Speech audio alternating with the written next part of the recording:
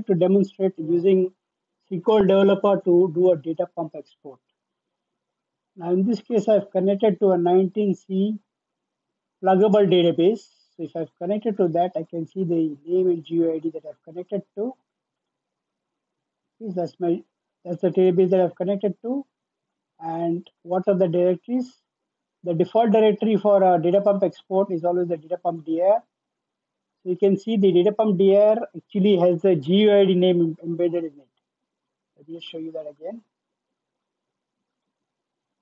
There's a GUID and there's a data pump dir. Now, when you want to run data pump from SQL Developer, remember that although SQL Developer is a client application running from your Windows desktop or a Linux desktop, the, the data pump dump file and log file are always created on the server because data pump is a server side program, unlike the original EXP legacy program, which could be which could extract your data to a client. Data pump will always extract to the server. So the location where the data pump will be uh, extracting to is under DBA directories. The default location, if you don't specify a directory name, is data pump dir. And in, in a pluggable database, data pump dir maps to the GUID name of your database. So that's where I, where I am currently. I don't have any files here. I'm going to connect using a user ID that has DBA privileges. For data pump, you need, don't need to have a DBA role, but if you want to export any schema other than your own schema, you need EXP full database privilege. So I'm going to use the, the Hemant account to export the HR schema. So there is under SQL developer, if you define a DBA connection, you can go to data pump and you can see the export jobs and import jobs that I've executed. But I'm going to use the data pump wizard to create a new export. So first I have to specify what I want to export. I'm going to export data and DDL and I'm going to export a schema. Then I can select the schema I want to export. That is just the HR schema alone. Of course, I could have done a filter by specifying partial name here. Next, I could also define my own data pump include and exclude filters here by adding rows and defining, for example, uh, let's say table and then put an expression here and so on. But I'm not going to filter anything. Then I want to specify what tables I'm going to export. So I'm just going to select all the tables in that schema so the HR schema, so you select all the tables. I could of course exclude certain. I can also look at the data in that uh, table, like this is the countries table, so I can look at the data here. I can look at the employees table and the data. So these are all the tables I, I'm going to export. Next, I can specify the options. So remember when you run a data pump export, it provides an estimate based on blocks or it can calculate again. So my estimate here is based on blocks, not statistics. I'm going to export to data pump dir, which is the default location. I just showed you that here from DBA directories. That is this location here. I can create specify the log file name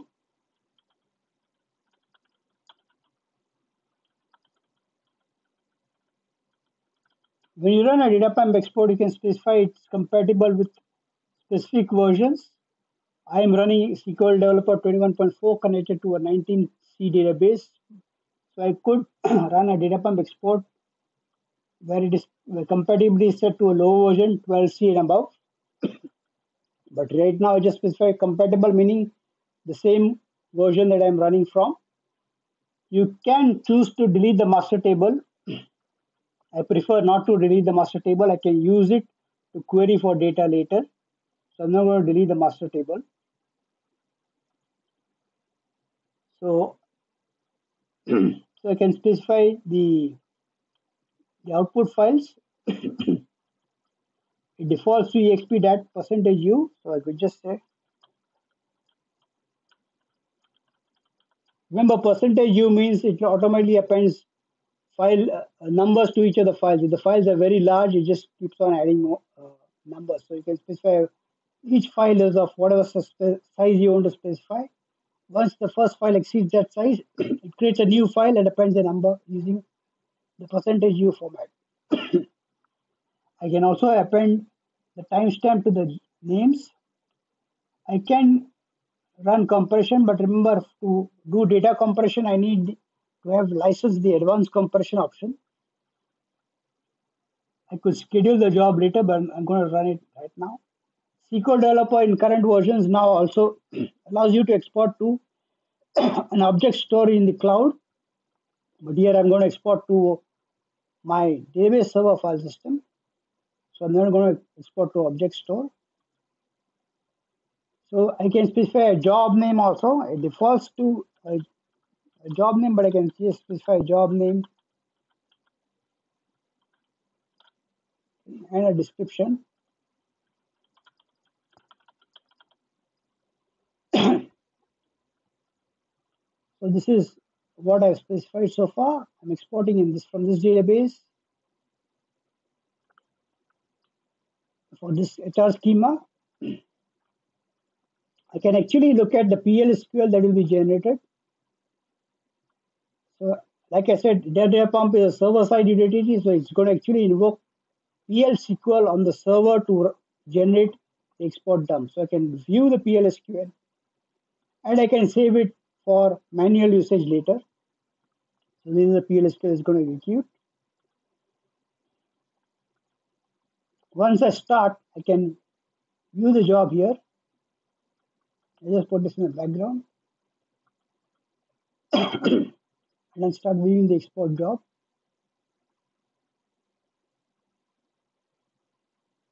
So it's, it's going to query for whatever available export jobs are running. So this is the export job that I'm running. Remember, it appended the date, date uh, the time as well to the job name that I specified. And I can view the details of the job. I can just do a refresh every five seconds here. So this is the owner, this is the job name. Exporting to data pump dir, the log file is hr export timestamp.log. And now I can see the estimate that is presenting.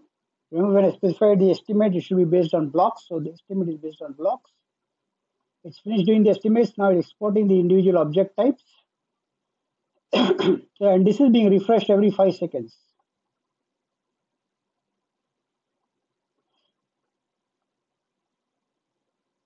So it's still running the export, it's just going through all the object types. I can view the files that have been created here. So this is the export log and this is the dump file.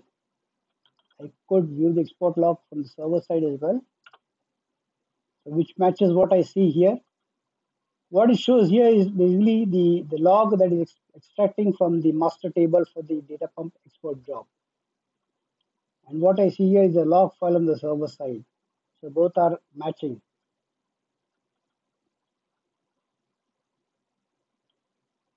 This PL/SQL procedure completed does not mean that the data pump export is completed. It just means that this refresh every five seconds is completed.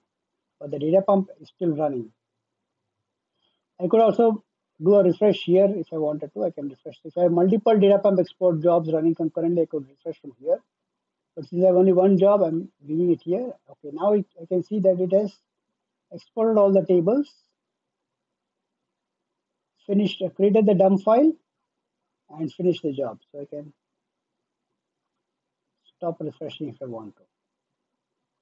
Let me just refresh here. It's almost completed. do a manual refresh and you can see now that it is no longer running there's no sessions running no attached sessions so if I view on the server side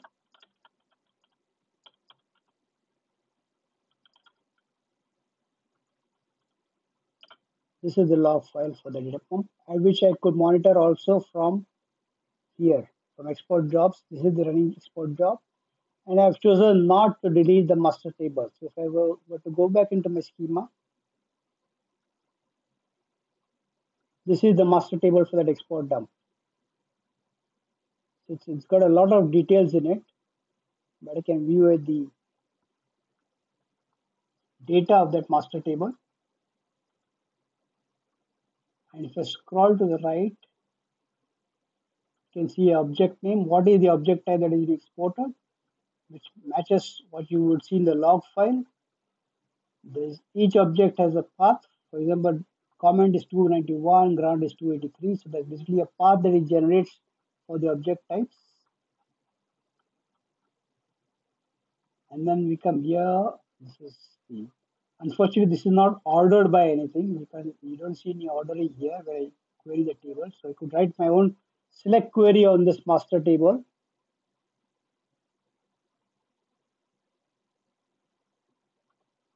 This is the master table. I could write my own select query and do my own ordering. Then I come here, scroll down. So the master table contains a lot of information. You can always choose to preserve the master table when you do a data pump export. The default is the master table gets dropped when the when the data pump export completes. Let me just scroll down here. I can see here these are the objects that are the, the tables, the actual tables that got exported, sequences, the actual sequences that got exported here, the privileges and the grants. These are all the tables. The grants on the objects so all that information is visible in the master table. You could write your own select query against the master table. For example, I could just query for original object name. So let me just open a new query session.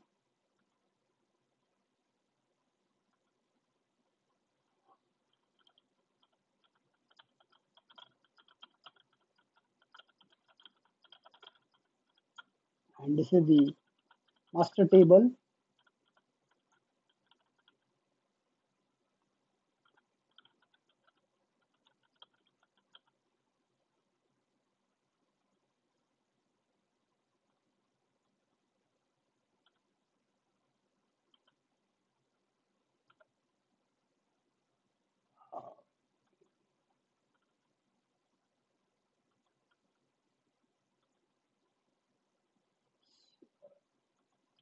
this is uh, okay.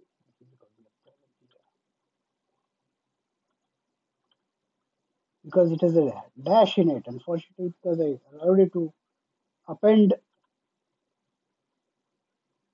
the timestamp there's a dash in the table name so let me just do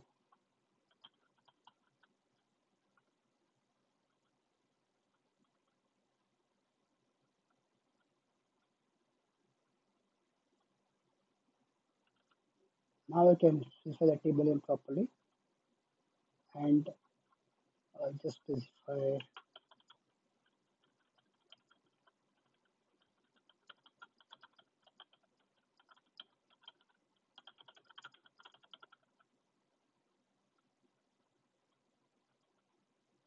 So these are all the objects that were exported. Of course, I could see that here with all the, I could even query for maybe the object type path and the object type in my query.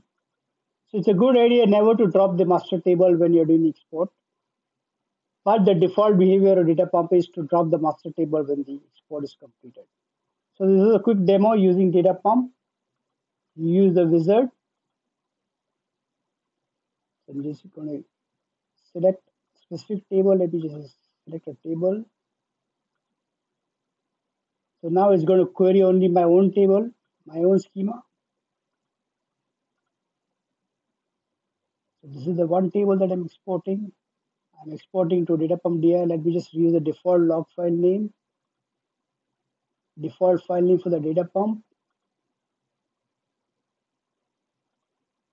Okay, and then default job name. If I were to run this background. You can see this is the new job that was, was that is running. I can refresh for this job. So in this job, I'm just exporting only one table from my schema. And the table export is almost completed. And do a refresh here. And now you can see there's no session attached to it. It is completed. So you can use data pump export from SQL Developer Client by the dump file and the log file created on the server. So if you want to view the details of the log file, you can actually view them using the export jobs viewer here. Or you can go and go into the schema and query the table.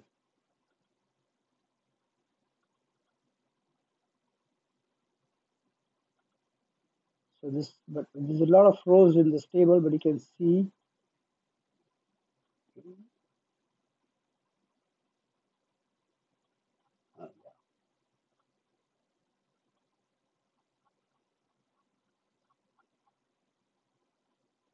You can see that it, does, it doesn't get ordered by, but that's fine. You can do your own order by when you manually query the table. For a single table export, you can see the master table has a lot of information.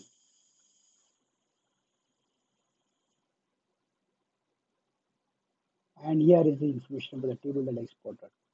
ABC table from the Hemant schema. This is statistics, this is the table data.